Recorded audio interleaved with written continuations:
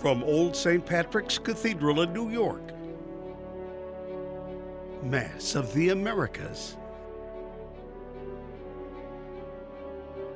With the Most Reverend Salvatore J. Cordileone, Archbishop of San Francisco, as celebrant and homilist. During these weeks of January, especially these first two or three weeks, the Church has us continue to savor the Christmas mysteries. Indeed, wondrous mysteries continue to unfold before us as we make our pilgrimage to the feast day of the presentation of our Lord in the temple. After which, the Church will have us turn our attention more toward the upcoming Lenten season. The days we are in right now, though, have us in the midst of the three Epiphany mysteries, beginning with the visit of the Magi, then the baptism of our Lord, which we celebrated last Sunday, and then finally our Lord's first miracle at Cana, which will be the gospel reading for tomorrow, this coming Sunday's Mass, the second Sunday in Ordinary Time. The Church has always understood these mysteries as particular moments in the life of our Lord in which he manifests his glory. As Dom Guéranger puts it, at Bethlehem, the gold of the Magi expressed the divinity of the babe. At the Jordan, the descent of the Holy Ghost and the voice of the Eternal Father proclaimed Jesus, known to the people as a carpenter of Nazareth, to be the Son of God. At Cana, it is Jesus himself that acts, and he acts as God. These Epiphany mysteries culminate in a wedding feast, where the beloved disciple tells us that Jesus did this as the beginning of his signs in Cana in Galilee, and so revealed his glory.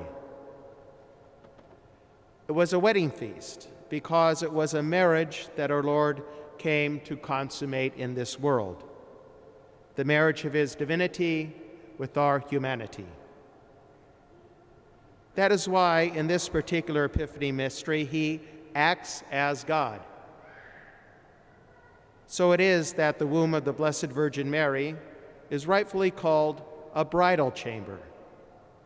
It was there that the two natures of divinity and humanity were fused together in the human incarnation of the second person of the Most Holy Trinity.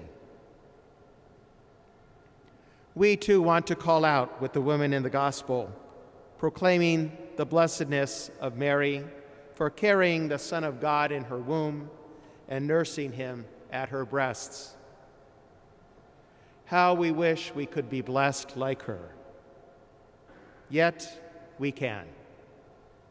The honor of being the mother of God's Son was, of course, a singular grace that God bestowed upon her from without. Yet, this is only the physical manifestation of her true blessedness, which came from her interior disposition of hearing the Word of God and observing it. As our Lord declares in response to the woman in today's Gospel.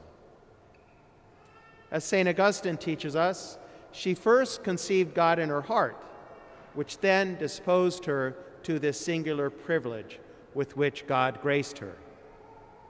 He explains The near relationship of mother would not have profited Mary had she not happily conceived Christ in her heart as well as in her womb. Mary, therefore, was more blessed in receiving faith in Christ than in conceiving the flesh of Christ. So we can then be blessed as Mary. For while Mary's motherhood is unique to her, her discipleship is open to all. And let us not forget the great privilege that her son gives us.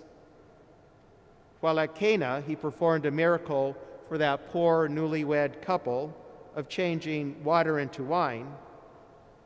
For us poor sinners, he performs an even greater miracle. Upon the altar at every Mass, he changes wine into his blood. He received his blood in the womb of his mother. and now he gives that blood to us in the Holy Eucharist. This is how he unites his nature with ours. He, the Word of God, became flesh and made his dwelling among us, as St. John tells us in the prologue to his Gospel, the Gospel reading we heard proclaimed on Christmas Day. The Father speaks his word, and his Son becomes flesh. The Son speaks his word through his priest, and bread becomes his flesh. As Mary's womb, so every altar becomes a bridal chamber in which the marriage between divinity and humanity is accomplished in our own bodies. Do we live our lives as worthy of such a marriage, as a worthy spouse in this sacramental sense? Marriages break up when the spouses no longer revere each other as they thought they did on their wedding day. They begin to take each other for granted as the grind of day to day life sets in. And we run the same risk if we lose sight of the miracle our Lord gives us at every Mass. The Mass can become an empty ritual, a routine duty among so many others we must regularly fulfill. As a married couple must always conscientiously rekindle their love for each other, so we must do with the life of faith. For it is only the eyes of faith that can perceive beyond the appearances to the gift our Lord gives us of his body and blood at every Mass. The Word of God is proclaimed in the Eucharistic assembly. The Word of Christ is then pronounced by the priest at the altar, and the Word once again becomes flesh. Hearing this Word and observing it in imitation of our Blessed Mother is the way to our own blessedness. The disciple, first of all, hears God's word. Think about what it means for a married couple to hear each other, to truly listen. The disciple is no casual listener, distracted with all kinds of preoccupations and worldly thoughts before God's word. No, the disciple listens with an open mind seeking to understand. And then the disciple puts into practice what he has heard. What he has heard and then understood. Seeking to live the life of grace in the sacramental life of the church. Seeking God's forgiveness in the sacrament of penance. Striving with the help of God's grace to live his vocation faithfully and well. To be a witness of God's truth beauty, and goodness in the workplace and in all social interactions. Finding joy in works of charity and in serving the poor. This is true blessedness, as our Lord teaches us and as his mother shows us. Let it be done unto me according to your word.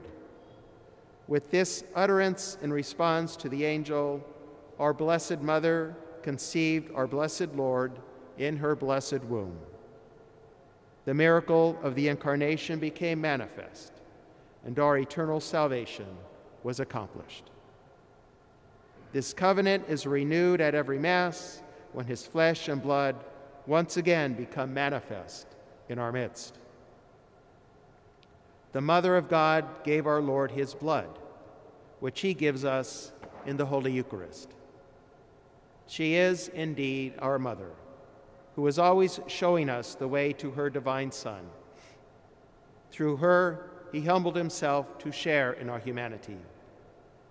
By imitating her example and relying on her motherly intercession, may we come to share in his divinity.